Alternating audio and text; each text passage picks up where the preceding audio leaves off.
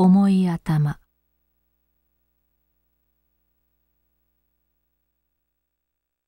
これは私が一人暮らしを始めて間もない頃のこと。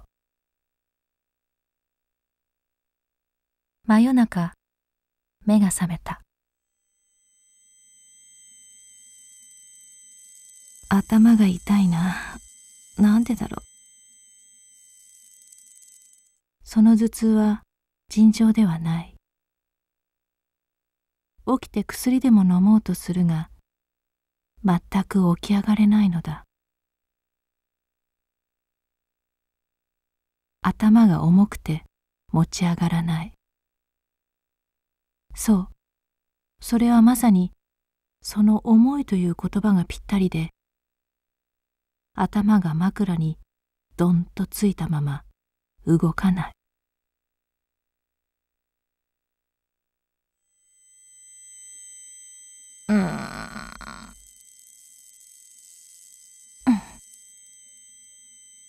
全身力を込めて起きようとするが首筋と背中が浮き上がるだけでやはり頭が上がらない。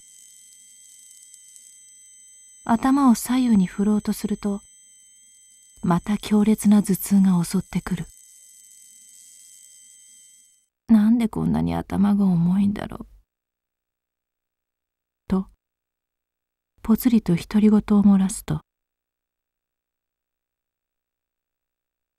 私が乗っているからよ。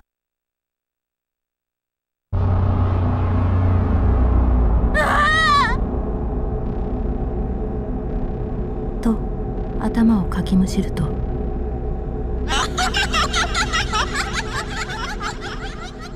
人とは思えない笑い声を上げてふっと消えた。その瞬間に頭痛が嘘のように引いたのである。